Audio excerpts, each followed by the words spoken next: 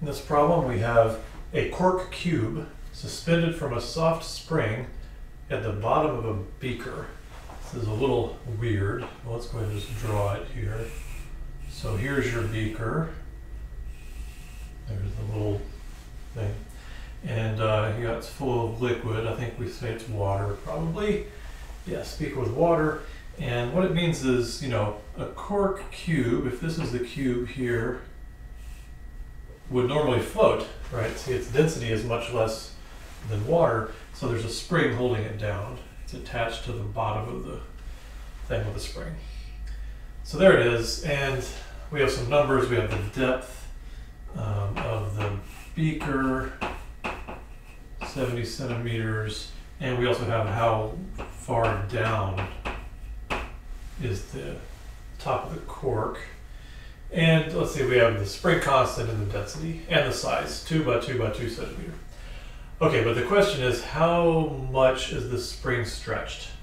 So this is a problem that's not just fluid mechanics or not just hydrostatics, but it's also a little bit of forces and physics in there to mix them up and make sure you understand them. So let's see, if, if it is suspended, that's the part that tells you this is a statics problem. This is just sitting here. So the way you solve this one is think about the forces for the cases that it is static. So in the y direction, the sum of the forces is zero. So we'll make the y direction up. So I just have to think about the cube and what are all the forces acting on the cube. So to start, there's the weight down, as usual. Negative because I'm just positive will be up and negative will be down, and I'll not write out the vector notation. Uh, let's see, there's the weight down. What uh, else is there? There's the buoyant force pushing it up. And then finally, the spring force pulling it down. And if you're not sure how I knew that was negative or how you would know that's negative in a problem, one is that it said that the spring is extended.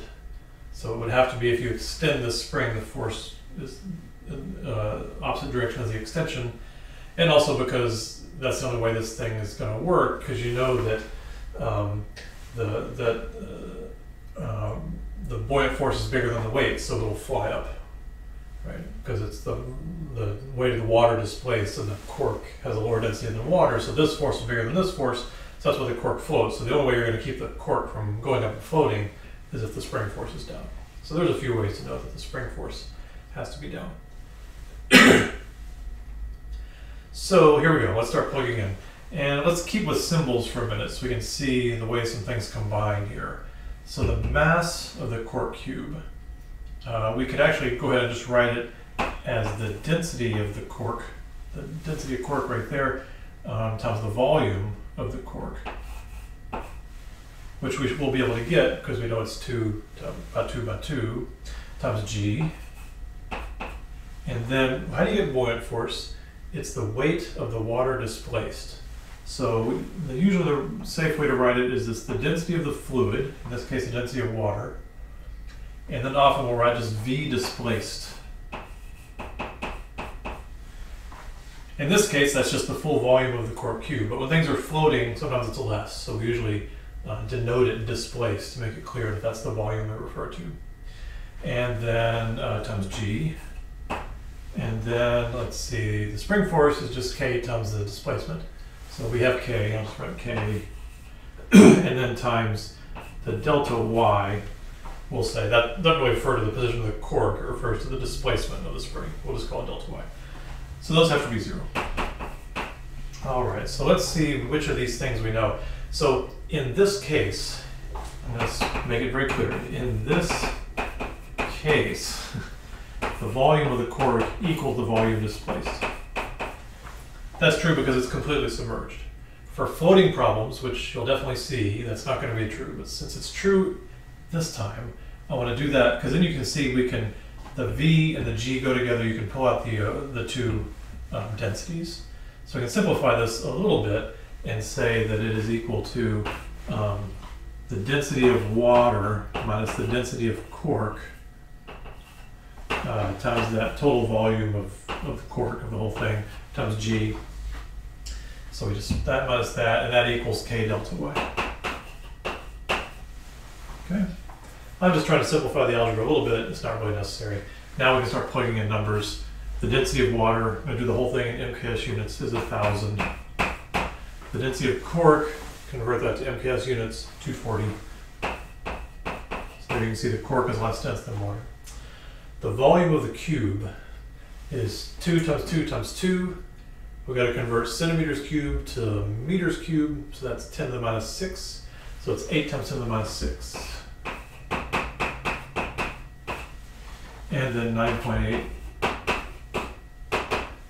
And then the spring constant word is given in MKS units 11.4. And then how much the string is, uh, the spring is extended. So you can see from there, it's just numbers at this point. It's 760 times that times that, go by that, and you get 0.0052. But it asks for it in centimeters, or at least in the online system, it asks for it in centimeters. So the answer is 0.52 centimeters. Is how much the spring has to be uh, stretched for this to remain suspended, which means static. There's a follow-up question that asks, does the depth of the cube affect the buoyant force? And that's kind of getting at why did we give you all these numbers? Does it matter? 70 centimeters, 11 centimeters, and really it doesn't. We just gave you those to help you kind of make you think about that a little bit for the second question. Does it matter? And the answer is no. So the buoyant force is always simply the weight of the fluid that was displaced. And the weight of the fluid doesn't depend on the depth assuming the fluid has a constant density because it's incompressible. Um, so it doesn't matter if the cork cube is here or down here or here, here, here, it's always going to have the same buoyant force. And if you want to even see that better, you can go back to how we calculated buoyant force. It was a pressure difference between the top and the bottom. Right? So that difference doesn't matter where you are, the difference will always be the same. Even if the hydrostatic pressure is changing as you go through different depths. Buoyant force is a difference in hydrostatic pressure. And it's linear with depth, so the difference doesn't matter. Anyway, that's how you get the number, and that's just a little bit of insight on the buoyant force. It's constant as you move around and up and down.